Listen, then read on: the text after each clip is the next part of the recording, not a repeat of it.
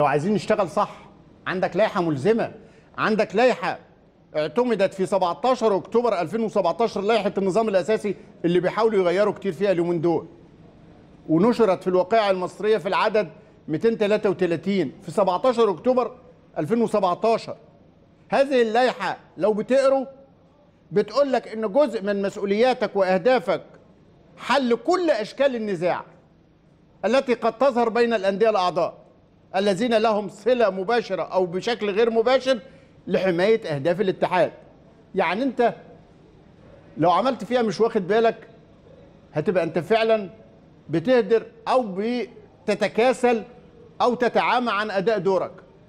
طب أنت عملت إيه علشان آلية تنظيم هذه الحقوق؟ أنت كاتحاد عندك لجنة فض منازعات ما قلتلكش تعالى يا أستاذ عمرو الجنايني تعالى يا كابتن محمد فضل اللي برضو اليومين دول يعني محتاج كلام كتير الحقيقة.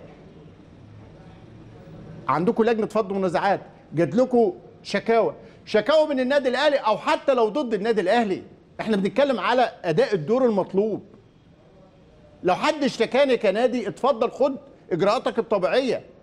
لكن أنا لما أروح لك بشكوى واثنين وثلاثه وعشرة وتعمل فيها مش واخد بالك؟ هو عارف عارف المشكلة فين يا أستاذ إبراهيم؟